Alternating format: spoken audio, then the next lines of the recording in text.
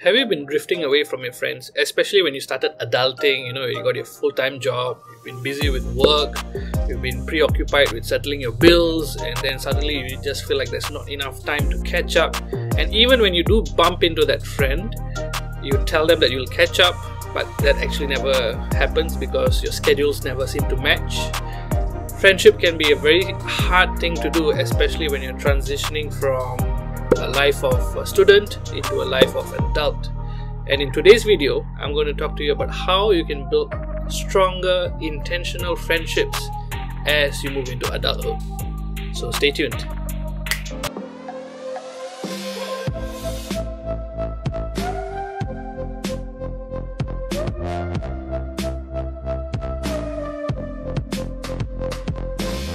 Everybody, welcome back. My name is Vivek Iyyani, and if you're new here, please consider subscribing to this channel so that you can learn more about my future videos on adulting, where I talk about how you can live a life of fun, freedom, fortune, and fulfillment.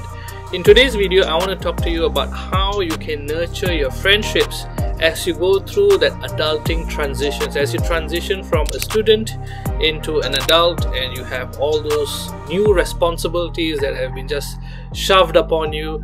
How do you still make time for friends and nurture the friendships so that you don't get out of touch and suddenly feel lonely and you have no one to talk to anymore? The truth is, once you start working and you have a lot of responsibilities in terms of you know getting your job done you know performing well at work and thinking about those key areas right especially career right friendship tends to go down the priority lane. And even as you start thinking about romance and you know getting settled down or finding a partner to live in with right?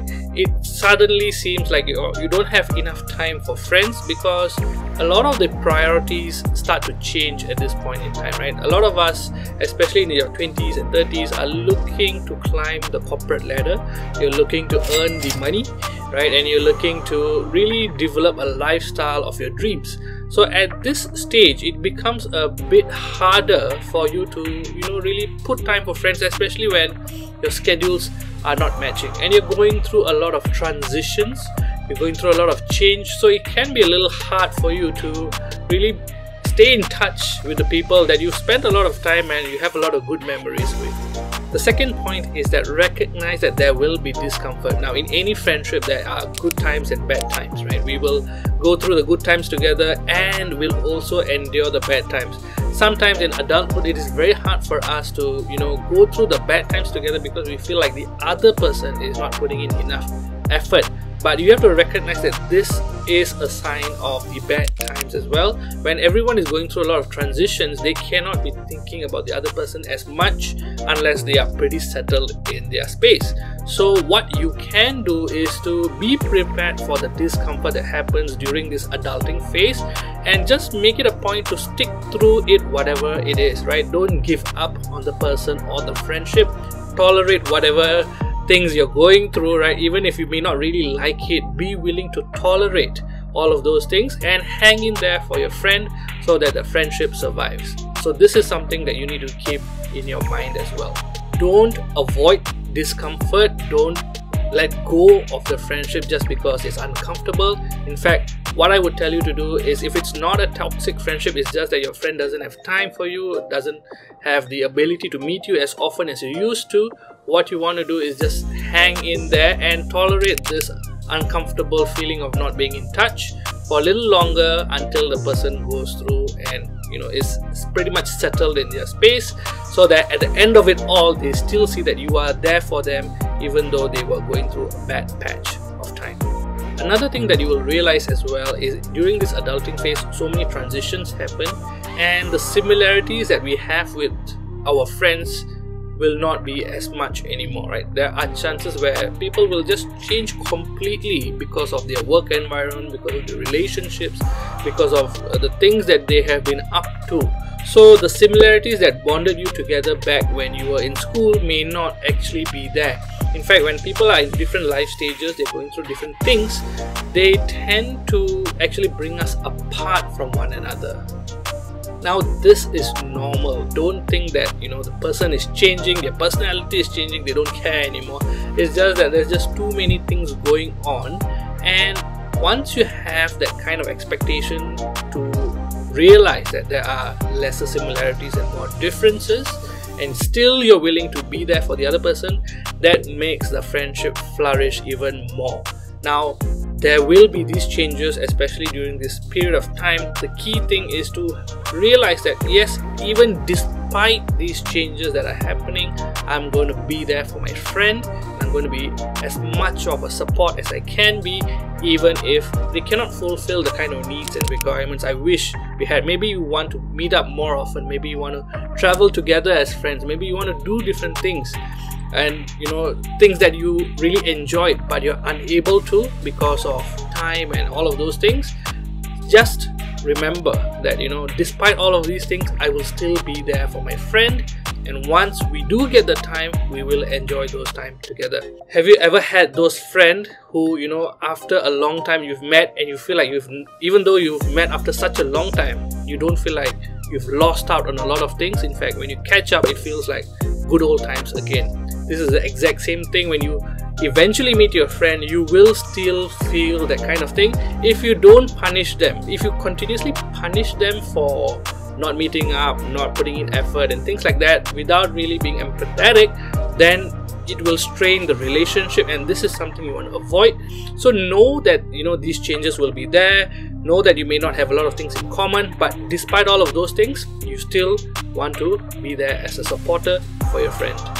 Now the third thing you want to do is to put aside your busyness and make time to check in. Now what do I mean by that? If you see something on social media, if you see something in your outside world when you're going out, you see a poster that reminded you of your friend, you saw a scene in the movie that reminded you of your friend, you saw a joke that you know also related back to your friend, take a moment to share those kind of moments whether it's an old photo that facebook reminded you of send it to your friend right use these small small moments uh, that you had together to reach out to your friend and stay connected. The whole idea is to not let busyness be the excuse to even send a message. How long does it take to really send a message through?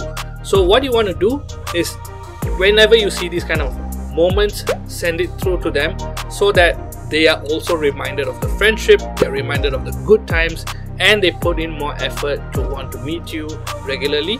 And even if they are very busy at this point in time, right, be patient and continue to check in with them maybe once in every month or once every three months. Ask them if they are free to meet up because the more consistent you are in following up with them, the more they are also realizing how consistent you are and they will start to put in even more effort and prioritize the friendship higher and higher in their priority list. Also, you don't really need an excuse to just randomly call them. These are your friends, you've hung out with them for so long, right? And you've had so many memories. What you can try is to randomly call them up when you just remember them, right? When you have those moments where suddenly you, you remember your friend, call them up randomly you know we always think that when we call them up randomly we're calling them at a bad time so what you can do is when you call them up randomly ask them hey is this a good time to chat right and then let them know i'm just doing a random call because i saw this and i got reminded of you. How have things been? Get in touch. Start speaking again. It will feel good right? You will feel a lot better when you reconnect with your friend after a long time and especially when it is random. When you approach them to you know text them for their uh, happy birthdays it's very expected. But when you are a little bit more spontaneous right your friends will actually appreciate that gesture a lot more even though it's a simple phone call so these are some of the tips that you can use to you know really set your expectations and your mindset around how to nurture your friendships so that they don't actually wither and die out right? You want to ensure that you stay in touch with these friends even if it may not be as often as frequent as it used to be at least even if it's once a month or once in three months at least be able to continue at a cycle that works for both of you okay commit to something that is doable and then slowly look into increasing the frequencies that you have in meeting up with one another Alright, those are my tips in helping you to nurture your friendships. I hope you enjoyed this. If you have not been in touch with a friend and you want to get in touch with them, send this video to them so that they remember you and they also put in more effort to get in touch with you and stay connected. And if you have any other ideas on how you can nurture the friendships, especially when you are in your 20s and 30s, please do share them in the comments below because I think we all need to learn how to better connect with one another. Even though we're in a much more connected world, we seem to be much more isolated. So, how can we build stronger relationships, especially with those we were really close to at a certain point in time? Okay, with that, I will see you guys in the next video. Till then, take care, stay safe, be happy. Bye.